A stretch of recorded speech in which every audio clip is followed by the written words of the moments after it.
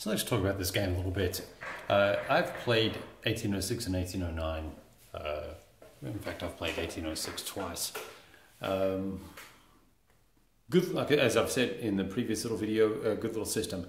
And here's uh, this is obviously an earlier title, and the rules were less well developed. And so there are a couple of things that we're not going to do in this game. We're not going to be using the artillery bombardment uh, stuff because it's uh, kind of stupid. And it certainly doesn't make sense at 1600 meter hexes either to have that. I think that's kind of a hangover from uh, from the uh, NLB system. And then there's this little initiative system, which at first I thought was kind of cool. And here's the here's the deal here, right? So you have uh, chits that are given to you that you put in your hand on the left, and then these guys go in a cup on the right, and you pull out uh, a chit out of the cup for initiative. Uh, sorry, when it's your turn, you pull see pull one out to see what your movement rate's going to be. Right, exactly. So, uh, I, what I want to do then is I, I, can use one of these here to uh, conduct what they call a forced march, and I can pick which one of these I want to have. Uh, whether I want to have as the French an additional two movement points for the infantry and three for the cav, or three for the infantry and four for the cav. And same for the British and the Prussians, they can do that. In fact, uh, I wonder if there are Prussian chits. Uh, I don't think there are. Um, I'm missing two or three little counters from this game, which is really freaking annoying since it's the second Napoleonics title I've pulled out that's missing pieces. And the person that's solving this, I'll find you and we'll uh, chat. Um, now, why would I want to do that? Well, I can do it and conduct a forced march and I can move faster for that turn. And then, although it's not stated in the rules, there was a note here uh, in the rules put on by a person who obviously found the errata. I haven't looked online yet.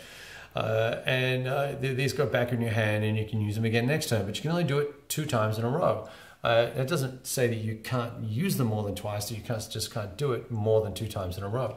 Uh, no ill effect for what would basically be, if I use this, that would be uh, set moving seven movement points. That would be 40% faster, and I could do it two turns in a row.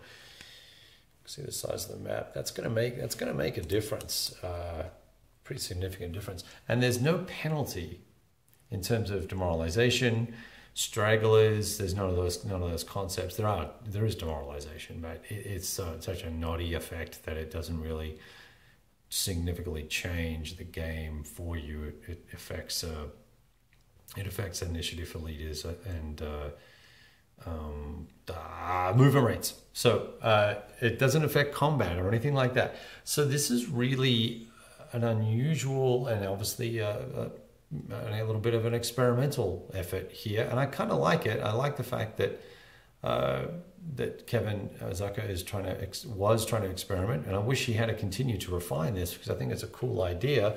Just think there should be some penalties, but uh, this game really, this system in general, and the systems that he's developed in general, to me anyway, don't seem as though they penalize you really very much for anything.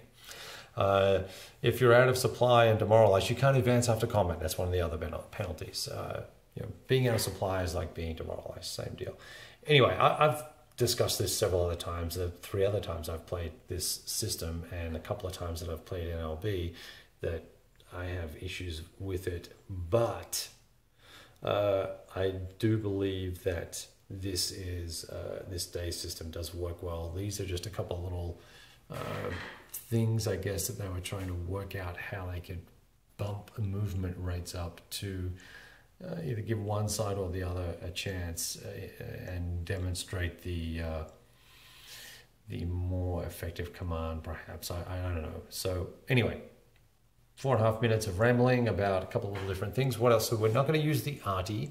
There are some optional rules for Elan. We're going to use those. Uh, it's going to do some things. Uh, see, look, oh, here we go. If force, if if a forced march and engaged, we get a negative there, and uh, and that's not mentioned anywhere in the rules other than on the combat table. Combat table, uh, terrain chart with effects. Got to look in the rule book for that. it's kind of all over the place. The fonts here on this stuff, terrible, can't read it. Uh, and of course, everything's freaking sideways. So, whatever. It's all good. Gonna play it. Love it. Later.